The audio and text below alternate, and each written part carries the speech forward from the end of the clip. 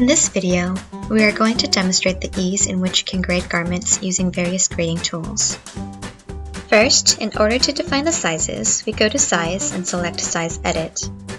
You can create your own size list by loading an existing list and adding to or deleting from it. Here we're going to add extra small and extra large to this list.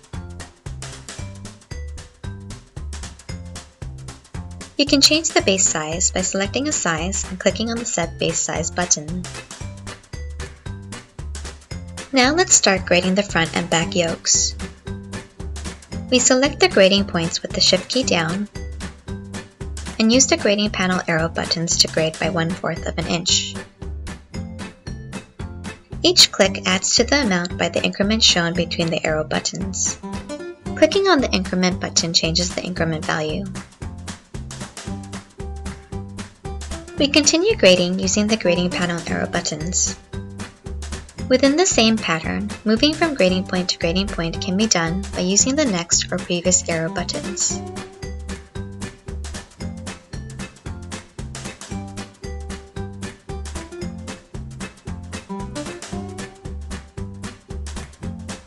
You can also grade by typing the grading value and dragging around the grading points.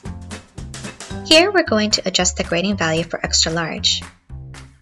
First, select a grading point and type in a new X value for extra large. Then copy the grading value with Ctrl C and paste it to the other two grading points with Ctrl V. Next, copy the grading value of this side and paste it to the back side panel. Then flip the grading value with the Ctrl and left arrow keys. Now we're going to use this extracted neck section to grade the front neckline and dart. First we grade the center front neck point, copy the grading value, and paste it onto the extracted neck section. We repeat for the side neck point. Now with the intermediate grading tool, we select the neck section and click on it to bring up the option window. We select the B1 option since this type of blending works well for the sharp curve of a neckline.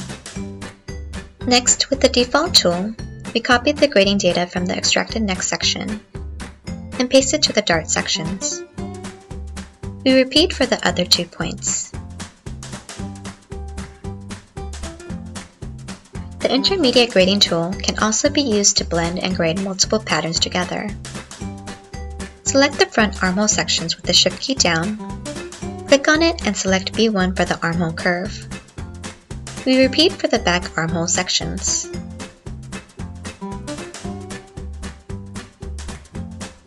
For the bottom hemlines that don't have a sharp curve, we select B3 to maintain the same curve shape for all sizes. Then with the default tool, we copy the grading data and paste it to the sides.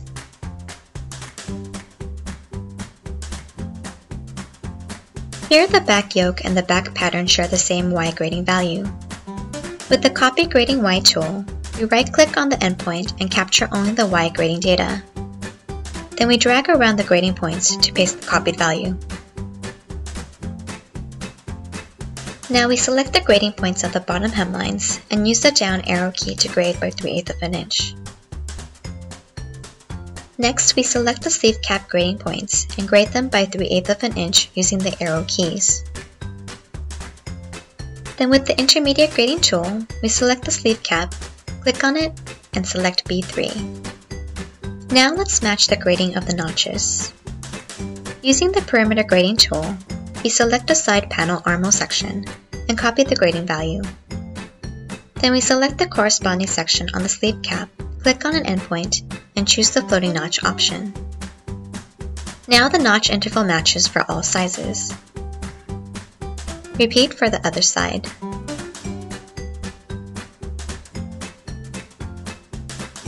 Now we select all the armhole sections and copy the grading value. Then we select the sleeve cap and choose the option that locks the endpoints. Notice that the adjustment happens to the middle of the sleeve cap since we locked the endpoints. Now let's grade the rest of the sleeve. We capture the X grading data, and since we want to transfer only half of the value, we type half and drag around the sleeve hem grading point. Now we do the same for the other side. We want to grade the sleeve length at a half inch increment. The perimeter grading tool provides a DV quick step for this type of situation, where DV stands for distance vertical. We drag from the sleeve cap point to the sleeve hem. Enter an increment of half an inch, and select the vertical grading direction.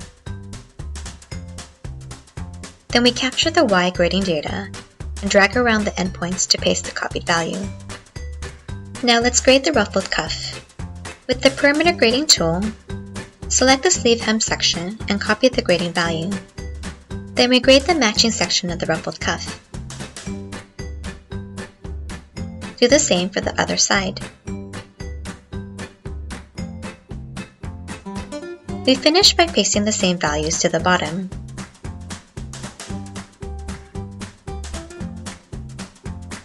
Let's use the two-point ratio grading tool to grade these buttons. We click on the top and bottom grading points to designate the reference points. Then click each button to grade them proportionately. This concludes our video on grading a long blouse using various grading tools. As shown in this video, there are various methods you can use to grade garments depending on your needs.